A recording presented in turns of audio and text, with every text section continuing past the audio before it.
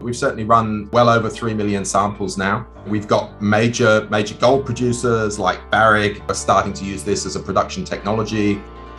I'm just seeing that this is such a big game changer to how we do things. Photon assay, you crush the material, goes into your jar, you run it through your machine, you get your result right away.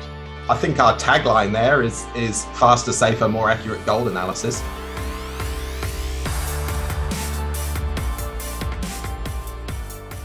The mining industry as a whole has been a slow adapter of new technology. But uh, here at New Found Gold, as an exploration company, we're always looking to utilize up and coming technology that we see can benefit us in advancing the project, either through cost savings, time savings, or through more efficient and environmentally sensitive processes.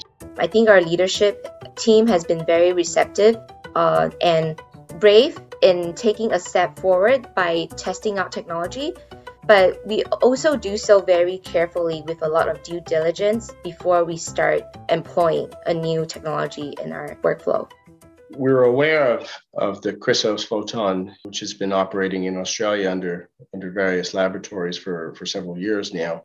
New Found Gold, amongst others, has been experiencing exceptionally long turnaround times through the traditional fire assay process. It's an incredibly slow process to do all that pulverizing, to do all that screening, to do all those assays. It's really time consuming and therefore it's expensive and it does slow down the rate at which New Found Gold can release their results.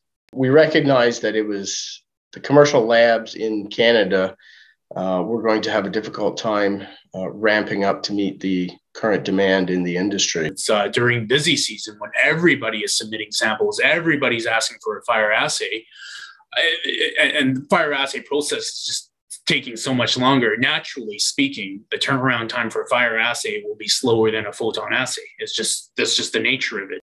Fire assay gives you excellent results, but the question is, is there a way you can still get such good representative gold information, maybe a little faster and maybe a little bit less money? And that's photon assay. When we heard that MSA was bringing photon technology to Canada, we were really the first to get on board with this. So, photon assay is a novel technique that uses high energy X rays to measure samples. So, we take a 500 grams uh, jar of material, hit it with these high power X rays, they activate any gold that might be present in the sample. The gold gives off a very characteristic signal, something called a gamma ray that we detect, measure, and then that tells us the amount of gold present inside the sample. So you know the weight of the sample, you know how many gold atoms are in it, and you do a calculation to determine the concentration of gold. The technology for photon assay came out of an organization called CSIRO, which is the Australian kind of national government applied research agency. So we had identified this as a, as a sort of an important industry need. And then we put our sort of physics brains to work on this to try and come up with a, a better way of writing a good gold analysis service.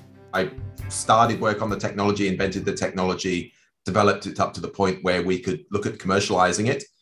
About five or six years ago, we figured we'd got to that commercialization point. We set up a startup company called Chrysos. I moved across into Chrysos and you know been part of the team building and rolling out the technology ever since it's environmentally much friendlier than the uh, traditional fire assay methods. So, fire assays, you have to use a lot of lead oxide, you'd have a lot of waste, you have acids, nitric acid, hydrochloric acids. Your furnace temperatures are over a thousand degrees Celsius. So, you can just imagine how much is wasted to get the result that you can now get using hydropower the carbon footprint that you are creating with using this approach is very minimal. With the photon assays, you don't need to do any chemistries with the samples. You only need to crush the samples and send them on a conveyor belt, and away you go. And you get your material back, whereas traditional methods you can't, and it, has gone. And now with your material back, you can do other assays on it. Uh, you can look at it under a microscope. There's so many possibilities after both methods, the fire assay and the photon assay, are doing great jobs at consistently reporting results within a, a, a narrow band, but like within the range we want. What's important is if you usually do a 50 gram fire assay, 50 grams is approximately what you could hold in your, the palm of your hand. This is now almost 10 times more.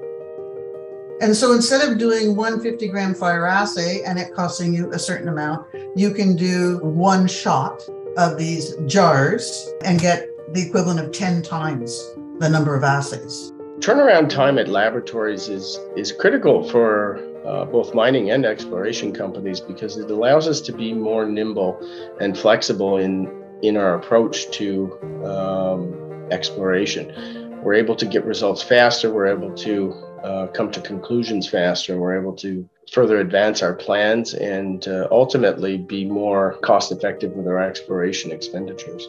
It's been put in place at Barrick's Bulyanhulu mine in Tanzania and also Fosterville in Australia. It is being very well accepted by corporations and therefore investors also. We've definitely gone from, you know, the very early days when you're prototyping and validating a technology. Now I think it's becoming a widely accepted part of the industry and just something that people see as the best practice way of measuring gold.